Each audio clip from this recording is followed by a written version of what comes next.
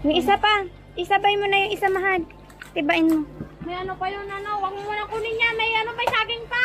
Kukunin namin yung saging. Ay, Pakin. double supa. Hindi, ako lang nagbabayin kain mo. Roommate. Ikaw muna ang bida ngayon. Mga kabukid, ang gagawin ko dito sa saging ng pakil ay gagawin nating natural banana vinegar.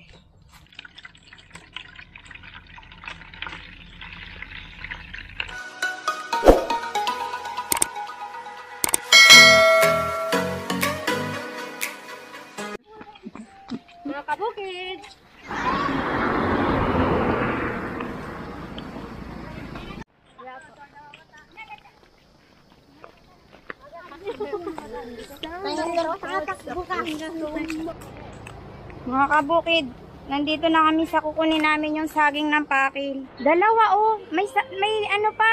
Isa lang po. Ayan, ano yan puso? Kukunin nyo yan?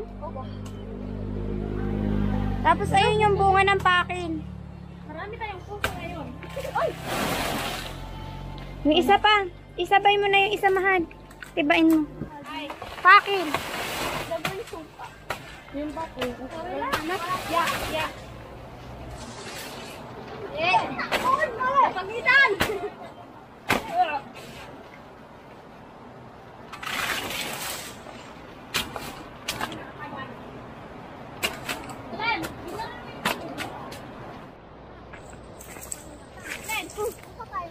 Tara na, uwi na tayo. Idala natin yan doon kila Kuya Jun.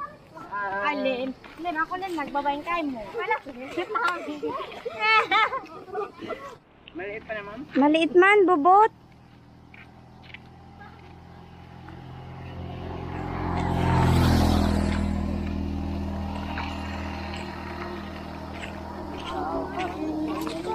Ang saging na pakil na kinuha namin ng mga batang mangyan ay hinog na po. Ang dami nito, kabukid.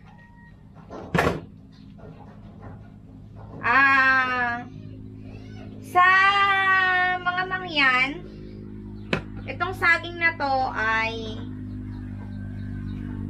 hindi nila masyado itong pinapansin. Mas kapansin-pansin sa kanila yung walang buto. Kasi mga kabukid, itong saging na pakil, marami nga po itong buto. Tingnan nyo po ha.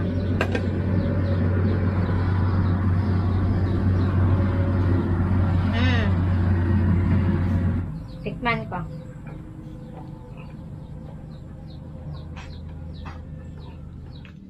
Pag ito ay nahinog sa puno, ang mga ibon, tuwang-tuwa. Kasi, pinaka pagkain nila ito sa gubat eh. Sa gubat, sa bundok. Meron din siya sa gubat-gubat na saging ng pakin. May mga overripe.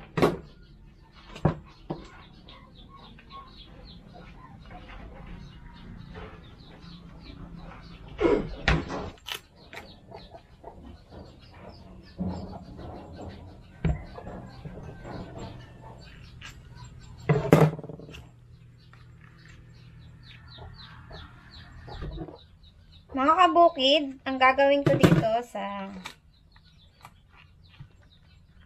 saging ng pakil ay gagawin nating natural banana vinegar. Yes, gagawin nating suka mga kabukid. Sabi kasi ng marami, masarap daw ang suka ng saging.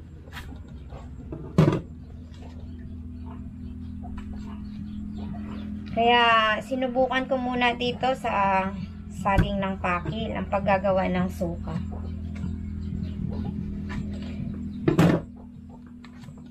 Healthy ito kasi natural ang ating gagawing suka.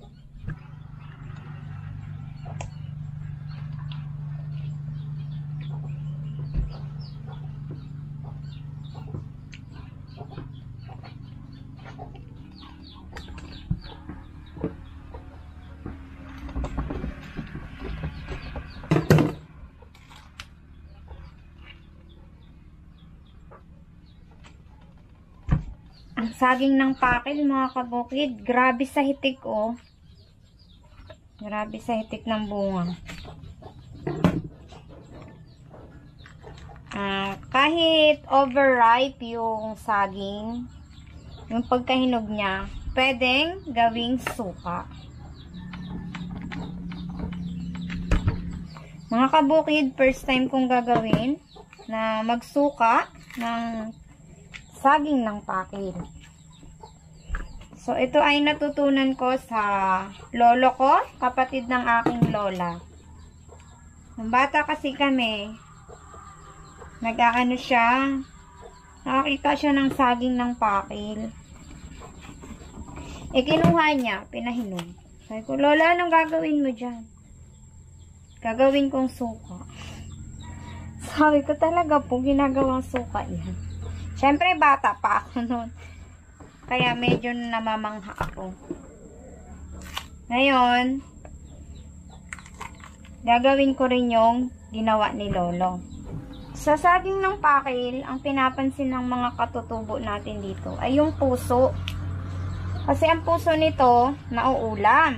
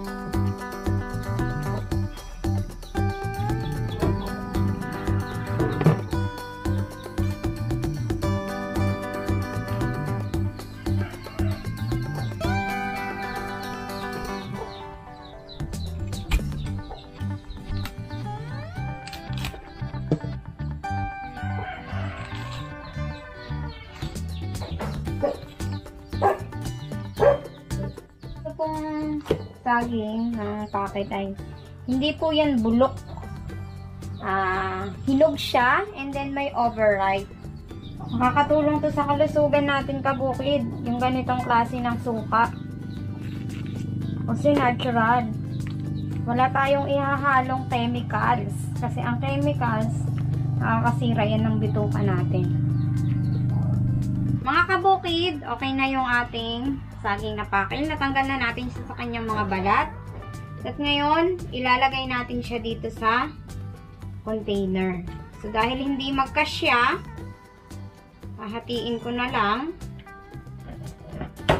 Ayan. I-stock natin dito sa container.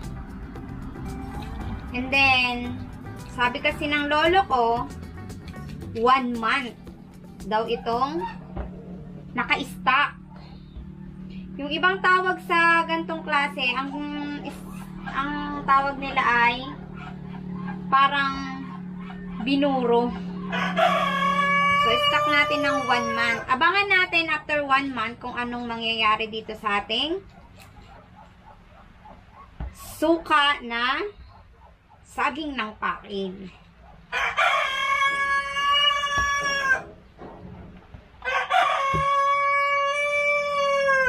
Mga kabukid, gumamit na ako ng sangkalan kasi masyadong mahirap. Mas mabilis ito pag may sangkalan. Hindi kasi kaya siyang ishoot dito sa bunganga ng container kapag isang buo.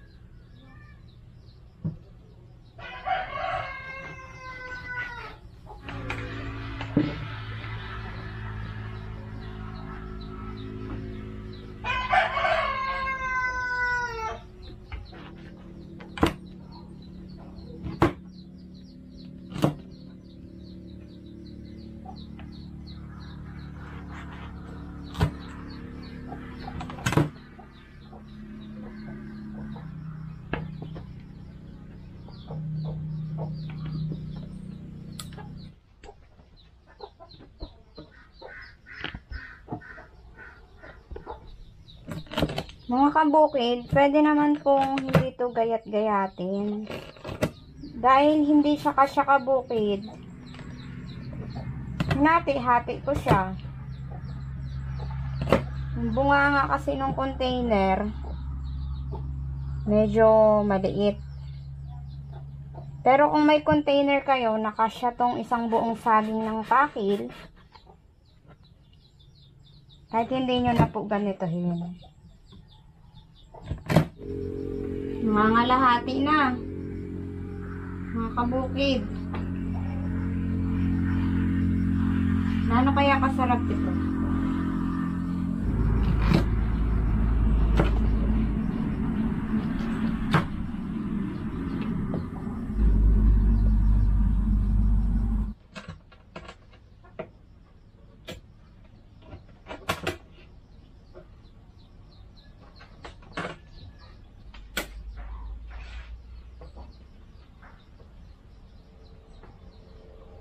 A-update ko po kayo kung okay na ang ating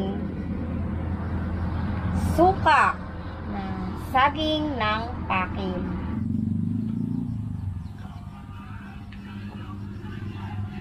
Mga kabukid, dito na yung ating sukang pakil. Okay na siya after one month. Sukang suka na po. Mas masarap ang suka kapag may sili, pamintang dinurog, asin, at bawang. Ito na mga kabukid, pipigain natin yan at kukunin natin ang suka para maisalin. Mga kabukid, ilagay natin ang bawang. Mas nagpapasarap sa suka kapag may bawang. Sunod natin ang sili.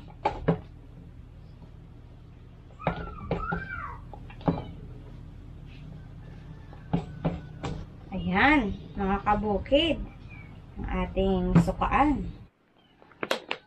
Ngayon, kunin na natin yung suka.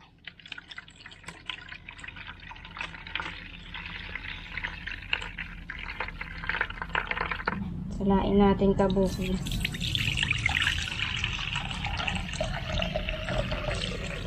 Ayan.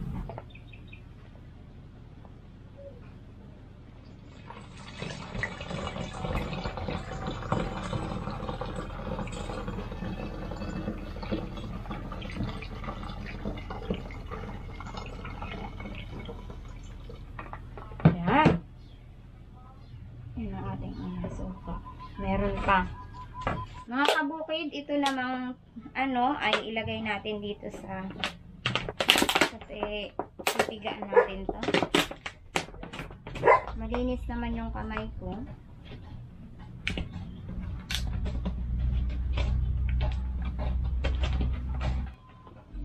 Sobrang asin.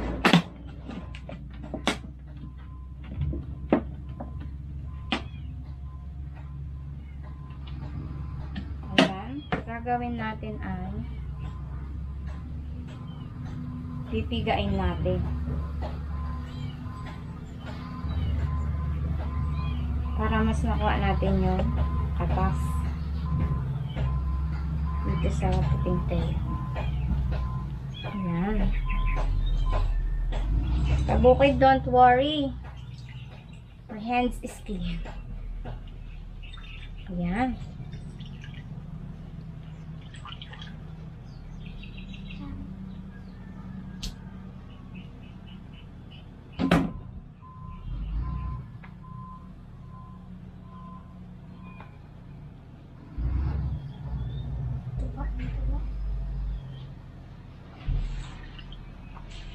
Galit na galit magpiga.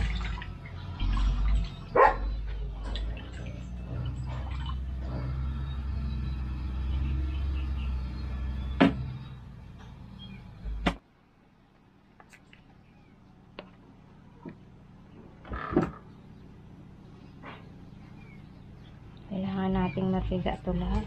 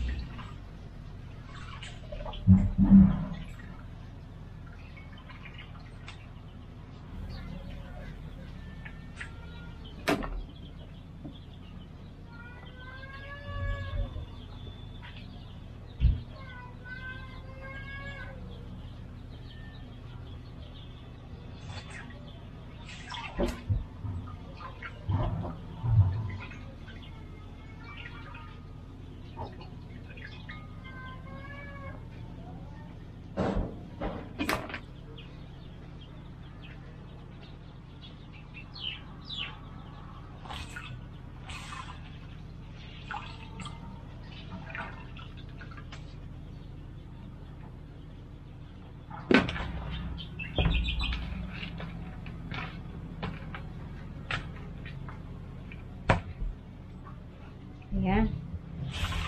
One. Okay, yan na yung suka, mga kabukid. Ating i-strainer muna yan. Salain natin to mga kabukid. Para kung may buto na ano. Masala. Ayan. Ngayon, isasalin ulit natin dito sa lagyanan natin.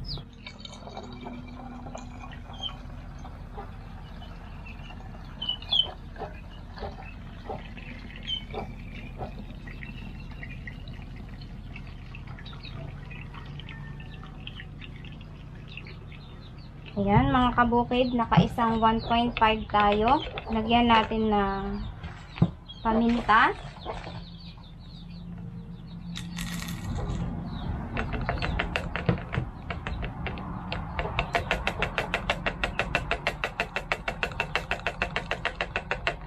Lagyan natin ng asin. Sakto lang.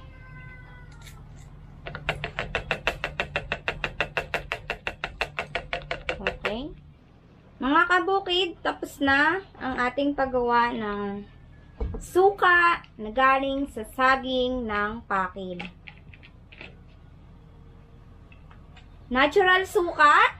Talaga sobrang asim. Itatry ko to bukas ah, kung gaano siya kasarap isawsaw sa mga pwedeng isawsaw dito sa suka. Abangan nyo mga kabukid. At natutuwa ako kasi first time ko rin gumawa ng ganito.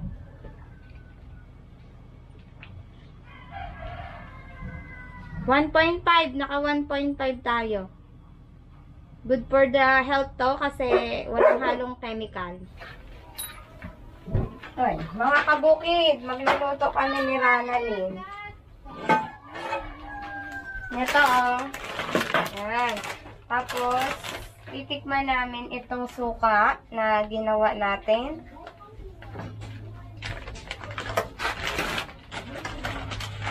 Wait lang po. Kung gaano kasarap. Bukid, oh. oh di ba ternong-terno to dito? Ipapatikim ko to kay Ranalyn. Wala yung ibang mga kabataan. Yung iba, pumasok. Yung iba, may kanya-kanyang gala.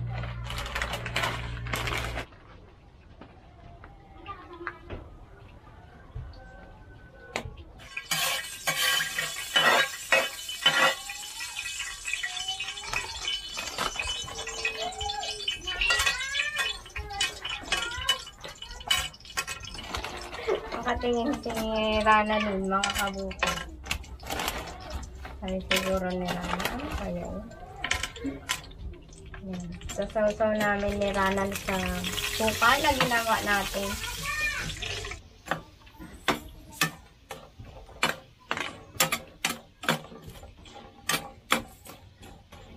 Mga kabukid, ito na yung suka. Titikman namin. At sasawsawan namin itong bisuto. Wala yung iba nating kabataan. Tikman nyo kung masarap yung suka natin. Wala na. Kain.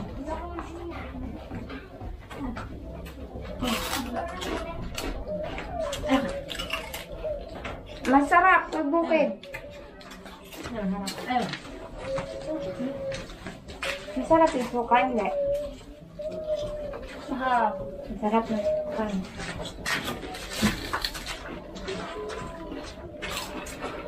Hindi pa ka. Sobat to. Hindi na nakagawa ko. Wala magdadala. Ano Gabi na. Ako.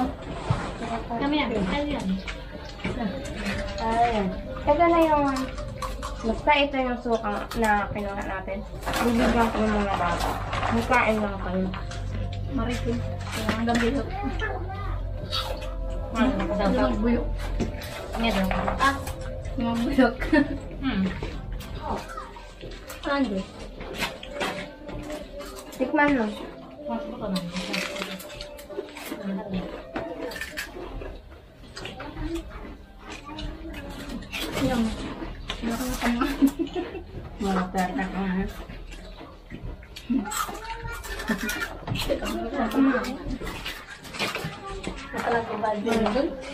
Mga kabukid, hanggang dito na lang po ang aking video. Sana nag-enjoy kayo at sana nabusog din po kayo. Ito, try nyo na po ang suka ng saging ng pakin. Ayan. Masarap. Talagang first time kong maka makatikim nito. First time kong makagawa nito. At ayun, may natutunan ako sa saging ng pakil. Sa mga gustong magpa-shoutout, comment lang po kayo sa baba ng aking video. Huwag niyo pong kalimutan na i-like, share, comments, and subscribe sa po ang aking YouTube channel. Mga kabukid, see you po sa susunod kong vlogs. I love you all. God bless. And bye-bye!